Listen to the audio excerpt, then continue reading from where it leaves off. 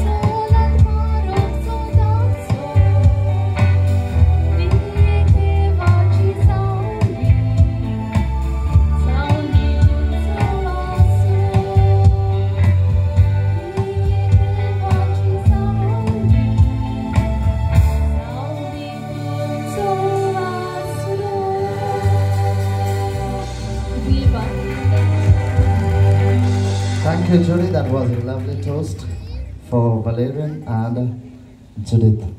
Well, it's time for us to say one single word.